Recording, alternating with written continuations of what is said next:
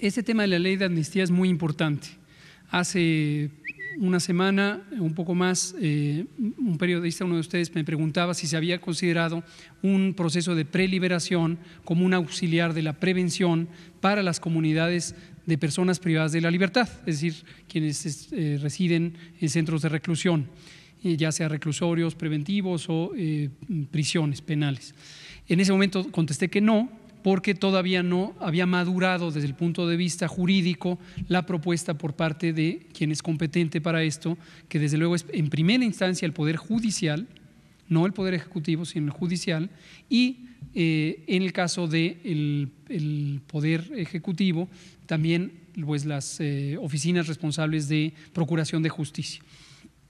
En este momento veo con, con agrado que el tema ha ido progresando, desde el punto de vista de salud pública, sí puede ser un elemento útil el reducir la población de las prisiones y de los centros de reclusión preventivos, porque entre menor densidad, mayor facilidad de hacer intervenciones preventivas y también menor es el riesgo de que haya propagación de la enfermedad. Entonces, qué bueno que esto progrese, gracias al Poder Legislativo, en particular al Senado, quien está tomando la iniciativa en este aspecto.